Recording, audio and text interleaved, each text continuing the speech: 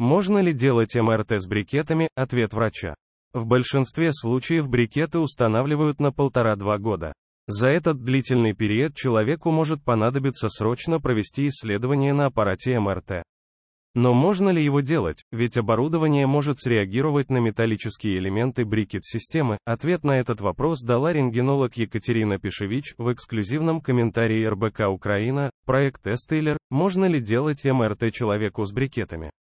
Делать МРТ с брикетами можно и безопасно на МР-сканерах при 1,5Т и 3Т, Тесла, поскольку сами брикеты и дуги не повредятся, и зубы тоже.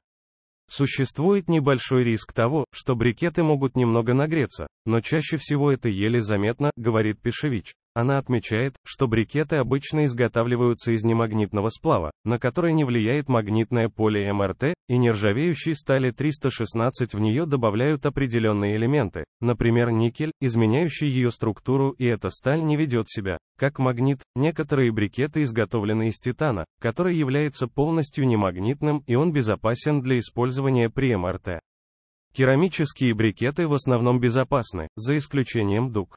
Проволока в основном состоит из никеля и титана, оба металла не магнитны, но все равно могут вызвать искажение, добавляет рентгенолог. По словам врача, самые безопасные брикеты для МРТ – прозрачные капы, практически невидимые и изготовленные из пластика, поэтому не мешают проведению МРТ, могут ли брикеты исказить результаты исследования.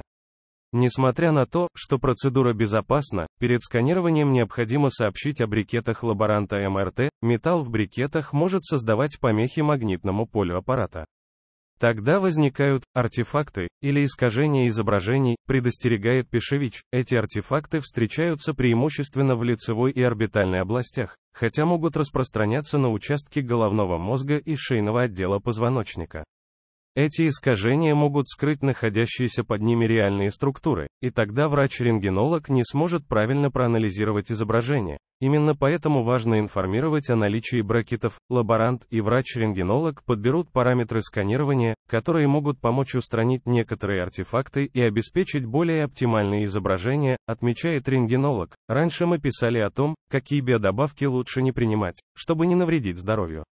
Читайте также о том, какая привычка втрое снижает риск сердечного приступа.